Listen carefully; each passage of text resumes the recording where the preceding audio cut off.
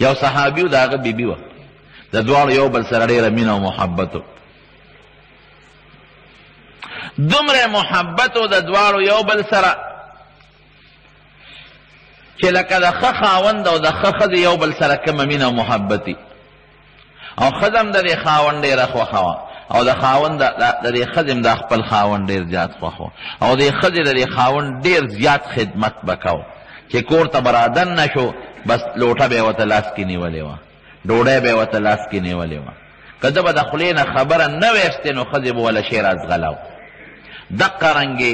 د دې خاوند هم دا ښځه خوښه وه چې د ښځې د خولې نه به ټکی نه وتی چې ده به وله فورا هغه پوره کاو د مینې ژوند یو بل سره تېرېده یو ځل سره دواړه کور کې یو بل سره ناست دي دا خاوند یې ښځې ته وایي وی ښځې داسې مینه به د چا یو بل سره لکه زما ستا چې ده یاره وایي ګمان نه کوم د ما ستا یو بل سره ډېر محبت او ډېره مینه ده خو یې خاونده ستا لږه کمه ده نه ښه دی دا څه وی نو یې کوس مې درته یو شی یاد کړ یو خبره مې درته وویل وبیا نه منې وی ستا خبره نه منل ته خو ما ته لاس په نامه ولاړې او زما هر خدمت کې او زه به ستا خبره نه منم قصه اوږده ده خو دې درته بالاختصار وایم وی وایه څه وی وی واده وکړه وی واده مې ده درسره وی ګورې هسې نه واده وکړې او بیا راله هغه خپله خبره پوره نه کړې وی ګوره بې وادې زه ستا خبره پوره کوم او چې تا رانه واده واخېسته نو خامخا به پوره کوم وی ښه ما له طلاق راکړه ما جدا کړ خاون حق دک حیران شو خځې لیونی که روغی چل در باندې شو زما نه څه نیمګړتیا محسوسه نه زه دې بدی شم نه خوښمې مې ډوډۍ دله راوړم او ډوډۍ هم راوړې جامه چې تا کومه غوښتې ده دله راوړم او هغه هم راوړې په مانځه او دستې نه یم خوښ نو مونځ او دست روجې هم نه سموي نه دینداره مې په دینداره مې هم خوښې غوسه ته قسم چې تا مې درته خوړلی دی غوسه مې درته کړې ده وهل ټکول وینه دا دې هم نه دي کړی بیا طلاق ولې غواړې بس وی ګوره زما ستا خبره ده تا ماته ووې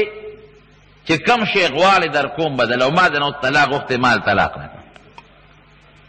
وی بل سب سوب دی خوختی وی خزا و توی زما دی دا الله په ذات قسمی که په دنیا کې مستانه بل سوک زیات خوخی ښه نو چې زه طلاق درکم زما نه دې بغیر بل څوک خوښ هم نه دي ته به کې څه زه خو دې حیران کړم څه دې ضرورت دی وایه څه نیمګړتیا دې ما نه لیدلي ما ته هغه وچې دله پوره کړم او که زما په ذات کې د څه نیمګړتیا نو بیا مو وایه چې دله پوره کړم او که زه دې نیم خوښ او هسې زما د مخ د وجې نه وایې چې ته مې خوښ یې نو هم وایه زه پرې نه خفه کېږم بیا هم طلاق در کوم نه یم خوښ ټیک ته بل څوک به دې خوښ وي وایي دا ټول نشته زه درته د الله په ذات قسم خورم چې خوښ مې مې هر څه مې پوره کړی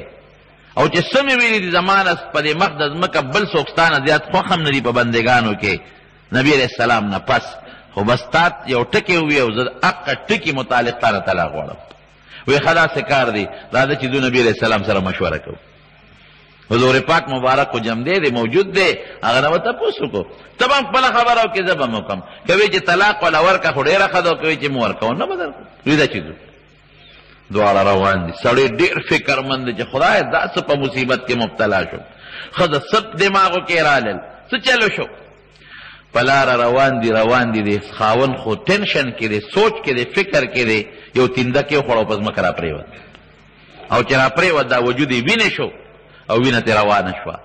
دې ښځې زر لاس ورکړه ور اوچته یې کړه او وینه ترې پاکه کړه لا زښت سړی وي طلاق نه غواړم یا ښځې څه مسله دې جوړه کړې ده ته روغه یې وي او روغه نو تا خو زه په مخه کړم چې نبی علیه السلام نه تپوس کو اوس به طلاق نه غواړم څه چلو شو وی ما د پیغمبر علیه السلام مبارک یو حدیث او اورېده حضور پاک فرمایي چې کم انسان باندې په دنیا کې تکلیف نه راځي بیماری او کړاو نه راځي دی د خدای نه لرې دی خدای ته نږدې نه دی نو ما پتا چې ته بیماری نه ده لیدې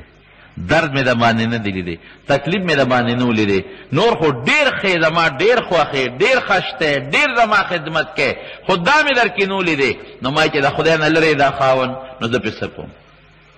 د خدای نه لرې دی زه به پې څه کوم هم صحابیات و که نه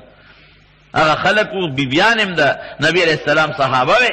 صحابیات وو نو ما چې د خدای نه لرې نو زه در باندې څه کوم چې درز دې وخوړ او وینه درنه وورته که نه نو پته ولګېده چې خدای ته نږدې نه غواړم طلاق اشد الناس بلاء د ټولو خلکو نه زیات تکلیف او مصیبت به په پیغمبرانو راځي تکلیف او مصیبت